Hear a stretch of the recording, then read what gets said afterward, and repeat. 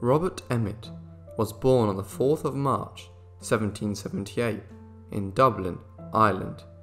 He came from a good background as his father, Dr. Robert Emmet, was a court physician and his mother, Elizabeth Mason, also came from a wealthy family. Financially, the Emmets were well off, owning a home in the centre of Dublin, as well as a country residence near Milltown. They were part of the Protestant Ascendancy, which was the name given to the Protestant upper class that dominated Ireland. As a child, Robert was possibly influenced by the views of his elder brother, Thomas, and his brother's friend, Theobald Wolfe Tone. Both were Republican nationalists that wanted to see Ireland become an independent state. In his youth, Emmet attended Oswald School. Following this, he enrolled in Trinity College Dublin in October 1793 at the age of 15. After three years at university, he joined a debating society. While he was still at Trinity, his brother Thomas, along with a group of his friends, became heavily involved in political activism. It wasn't too long after that Robert joined his brother and decided to accept the role as secretary of part of a group called the Society for United Irishmen. The organisation aimed to achieve the emancipation of the Roman Catholics through parliamentary reform, as well as the independence of Ireland.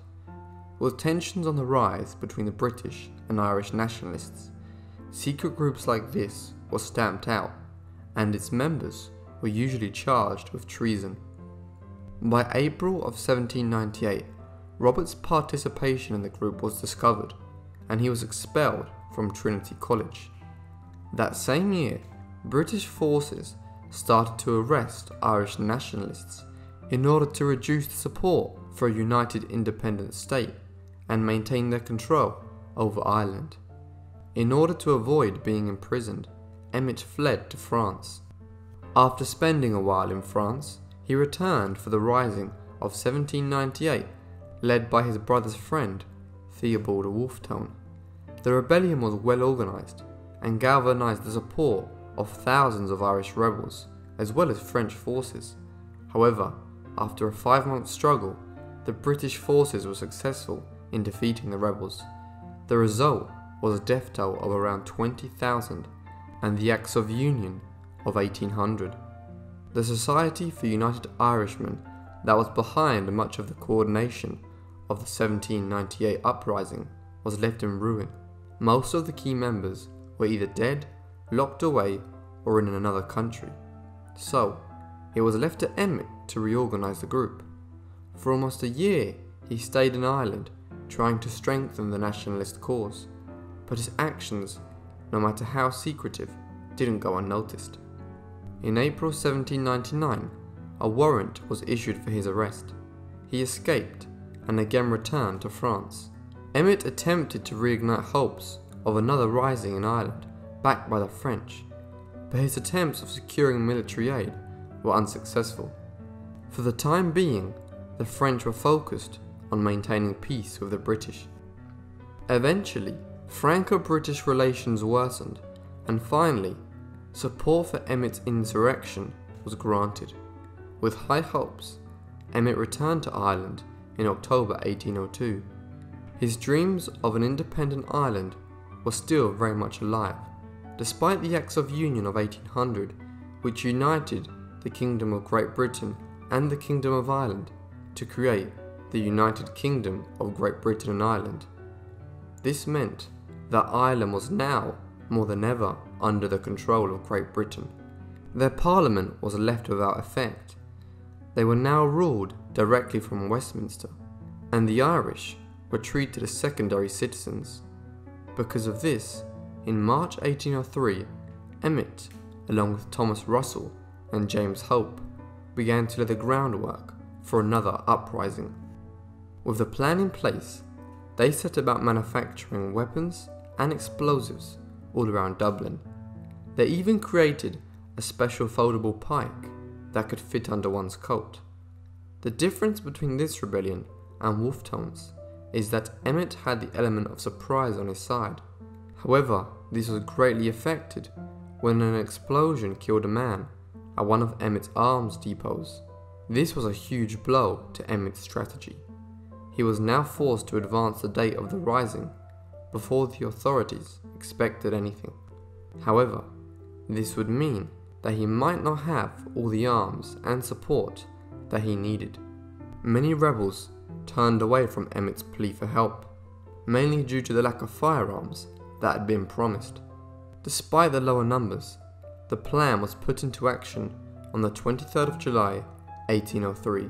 The aim was to take Dublin Castle and later gain the support of the whole country. To try and bring more people to Emmet's cause, about 10,000 copies of a proclamation in the name of the provincial government were printed and handed out. Later, the British authorities destroyed most of the copies. The rebel group, which was 200 men strong, failed to seize a lightly defended Dublin castle. Following this, chaos broke out in the surrounding areas. By now, the group grew and many random people, not under the control of Emmet, joined the huge disturbance that was going on. The scenes that Emmet saw repulsed him. One man was pulled off his horse and stabbed to death by a pike. Seeing as this was not his intention, Emmet called off the rebellion and escaped into the Wicklow Mountains. However, the anarchy continued. One unfortunate man was Lord Chief Justice of Ireland, Lord Kilwarden. Along with his nephew, they were dragged from a carriage and spiked to death. The clashes between rebels and British soldiers continued on late into the night until finally the military forces squashed the Irish rebels. As a result of the rising, around 50 Irishmen and 20 British soldiers died. While in the Wicklow Mountains, Emmet made the conscious decision to stay in Ireland. Instead of making a quick escape to France, which he easily could have done, he decided to go to Harold's Cross so he could be with his fiancée, Sarah Curran. He believed that maybe within Ireland he could stay hidden while remaining by the side of the woman he loved. But this wasn't to be. On the 25th of August, just a month after the rising, he was captured and taken to Kilmainham jail. His trial took place on the 19th of September. The prosecutors had many deficiencies in their case against Emmet, but they used corruption to get around this problem. Leonard McNally, the barrister that represented Emmet in court, accepted £200 and a pension in order to throw the case. Fortunately, McNally's assistant, Peter Burrowes, was a more honourable man and declined a similar offer and tried to defend Emmet the best he could. Nevertheless, Emmet was found guilty of high treason. Just before he was sentenced, Emmet delivered a speech. To date, it's speculated that there's over 70 versions of this speech. Emmet said, I am here ready to die. I am not allowed to vindicate my character. No man shall dare to vindicate my character. And when I am prevented from vindicating myself, let no man dare to calumniate me. Let my character and my motives repose in obscurity and peace. Till other times and other men can do them justice. Then shall my character be vindicated. Then may my epitaph be written.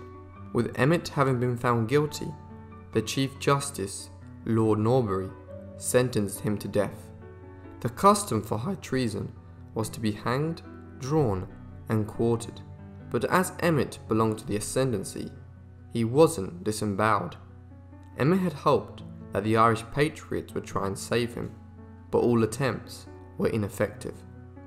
The following day, on the 20th of September, Emmet was executed in Thomas Street, Dublin. Many of Emmet's friends and family had been arrested under suspicion of treason. Because of this, no one dared to claim his remains. Emmet's remains ended up in Kilmainham jail. The jailer was given orders to bury them in a nearby hospital grounds if no one claimed them. A search of said burial ground was done, and no remains were found.